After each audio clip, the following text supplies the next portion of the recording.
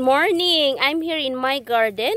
I will show you how to plant the carrots carrots within the carrots okay? So this is the carrots. this is i cut the carrots is about about one inch and then i put this in the water. And then this is about seven days already okay? So ang gagawin natin ngayon ay itatanim na natin siya Ganito. Oh, the, Mom, can I dig holes for the carrots? No, anak. Because this is already, I have six already like this. I'm just experimenting only.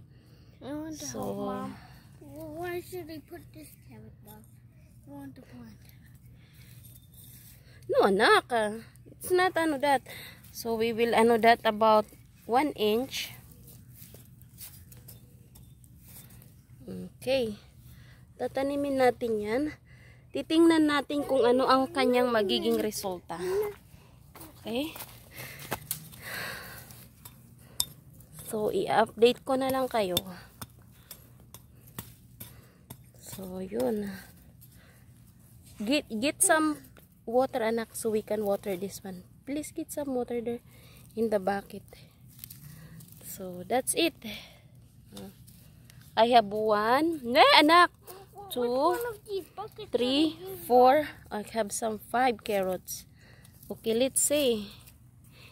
Carrots is a root crops.